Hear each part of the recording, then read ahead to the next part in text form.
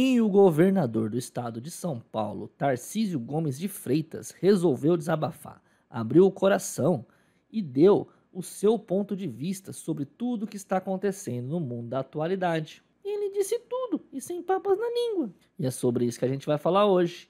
Eu sou o Léo, esse aqui é o Pé de Panda. Ele não é nem gado nem jumento, ele é um cavalo. E juntos vamos dar a nossa opinião isenta e imparcial sobre tudo o que acontece no mundo da atualidade.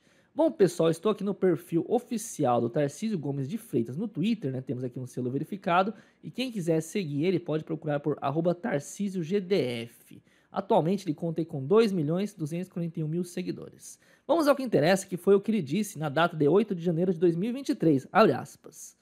Para que o Brasil possa caminhar, o debate deve ser o de ideias e a oposição deve ser responsável, apontando direções Manifestações perdem a legitimidade e razão a partir do momento em que havia depre ou cerceamento de direitos. Não admitiremos isso em SP, mandou uma exclamação aqui. A postagem dele conta com 29.600 likes, 2.685 retweets, 9.026 comentários. Já atingiu 1 milhão e 600 mil pessoas. O Tarcísio mandou a sua posição. Sim, desabafou e disse tudo o que pensa. Mas e você que assiste esse vídeo? Qual a sua opinião sobre tudo isso? Deixa nos comentários, quero saber.